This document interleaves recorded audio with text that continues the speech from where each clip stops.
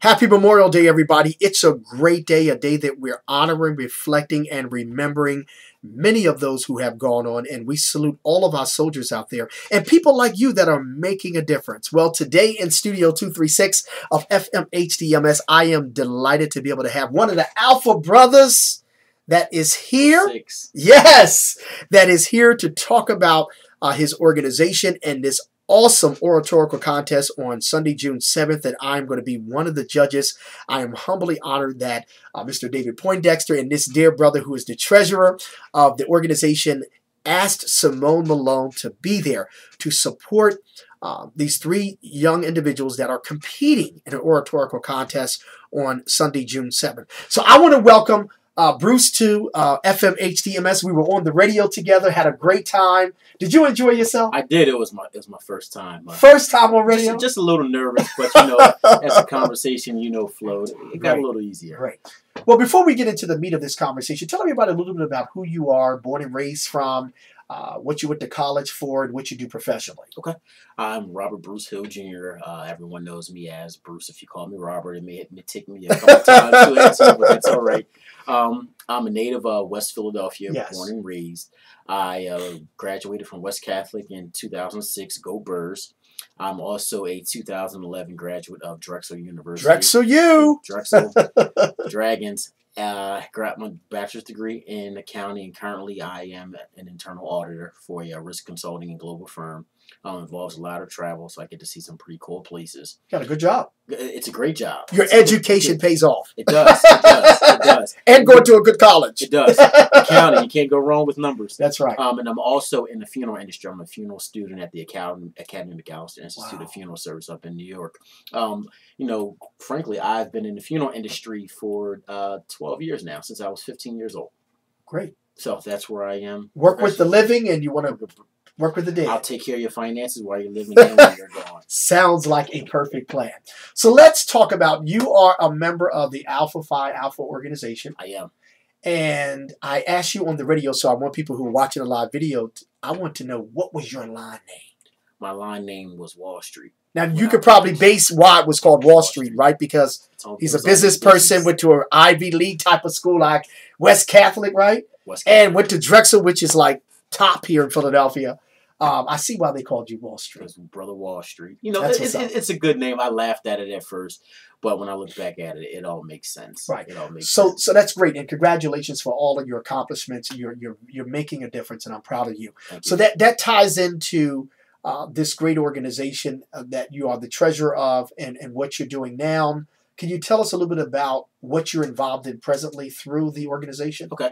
So Alpha Phi Alpha Fraternity Rho Chapter of the uh, chapter that I'm affiliated with here in the city of Philadelphia, we have a nonprofit organization called the Rho Education Foundation, and the Rho Education Foundation, sir, is an endowment fund where we raise scholarship funds that the chapter Rho Chapter gives out to high school students and as well as in the uh, brothers who are co- college students uh, currently uh, in you know in various amounts you know for their academic performance 3.0 or GPA or higher you know alphas It's gotta be a uh, plus. encourage scholarship all That's right. alphas are smart um, and then also for young men who are uh, in sixth through eighth grade to buy books because we know buying books here in the city of Philadelphia is kind of scarce you know given that the public school system just don't have the adequate amount of books to make sure that the students are you know you know learning accordingly Okay, that's great. Now, when did the organization start with this whole idea of wanting to give back to outstanding uh, individuals who can be a part of the oratorical contest? Well, this is something that's always been done, uh, on, you know, by the fraternity on a national level.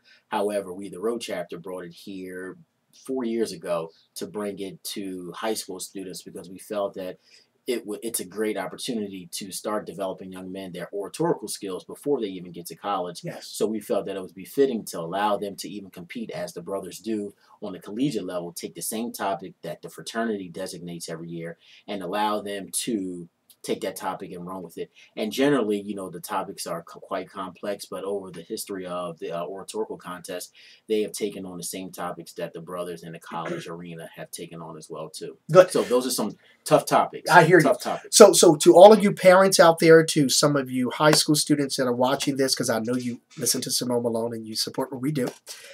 If they are interested, they can apply for the next one. Is for that correct? One. So because we're having this one on June seventh. June seventh. Okay. So uh, the next round of applications for the 2016 oratorical contest will be distributed in January of 2016. But okay. stay tuned for more information okay. by visiting our website, Rho1914 dot com, and you can uh, it'll be listed on our announcements page but you can also go to our page and just stay in tune as to what the uh, Rho chapter alphas are doing. Right. Give that website one more time please. Rho1914.com rho1914.com absolutely. I got it. Rho1914.com and there at that website uh, parents can uh, or, or people who would like to donate for this for next year Next can year. do that. can do that through uh, through the website as well.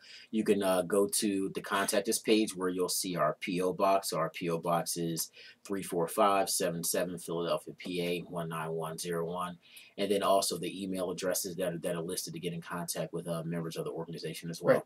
So, people, family, we want you to support this organization that's making a difference. Um, I'm going to support them, um, not even just giving a donation, but also taking in uh, one of the uh, contestants who will win this oratorical contest to be uh, spotlighted here at FMHDMS. But go to that website. This is about pouring into uh, some young man's future. And uh, you can give a, a donation, no matter how small. Uh, they would greatly appreciate it to pour into someone's life as they go on to college. They need those monies, and also it's for a worthy cause. So we definitely want you to support them. And come on out on Sunday, June 7th. I'm going to be there along with some other great colleagues that's going to be judging uh, these three individuals. Uh, the the Alpha organization, uh, Alpha Phi Alpha, is doing a tremendous work, not just locally but globally, and uh, we, we thank them for all of the efforts as well. What else do you want to share to the listeners and viewers out there about this whole mission and vision that you have? Well, I think the, the biggest thing is Alpha Phi Alpha, we promote scholarship. So scholarship comes in many forms and development of young men.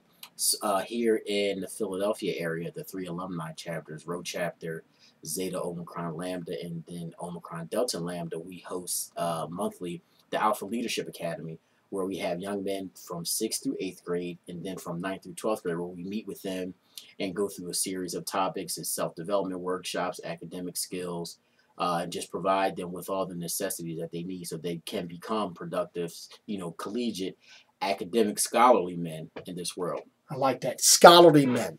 Communication is so effective. How you speak, how you carry, how you present yourself is so, so key. Do you want to say hello to anyone special? Hello, mom. My mother, she's a great supporter. You know, without my mother, you know, none of this will uh, be possible. Right. As a young man, she would always tell me, "Stand up for your rights. You can do whatever it is that you want to And do." you are doing and I'm doing just that. You know, I didn't have I didn't have a choice. So mom, thank you, and then to the brothers of Alpha Phi Alpha Fraternity Incorporated, 06 brothers. We've been doing this work for 109 years. Wow. This year, December 4th, we'll be celebrating our 110th anniversary. That's going to be big. It's going to be big. It's going to be big. So, uh, you know, alphas, you know, we are the leaders. You know, our motto is first of all, you know, servants of all. We shall transcend all. We have been doing that, and we will continue to do that. Right. I like that keyword servant. I am a servant. I think they might adopt Simone. Uh, I was saying it on the radio. The feel good man is going to be my line name. Consistent branding. What you think? Anyhow, we thank you so much, Bruce, for joining us. Thank you. Did you have a good time with us today? I did. Thank you for spotlighting the uh, Alpha Phi Alpha Yes. Rho Chapter and the Rho Education Foundation for spotlighting the work that we're doing, and we're looking forward to having you as a, as a judge for our oratorical contest. It is my pleasure. So, once again, give the website that people can donate and find out more about the organization. Rho1914.com. Great. Have a great day, everybody. Remember, the road in front of you is shorter than the road in back of you. So make the best of your life each day. Make deposits into somebody else's life. I always say that when you give to others, God is going to give to you. So have a good one. Thank you once again. Thank you. Let's wave at everybody. Take care of yourself. Don't eat too much. And I'll talk to you on the radio weekdays, 9 a.m. until 11, right here at FMHDMS. Peace and blessings be upon you. Bye bye.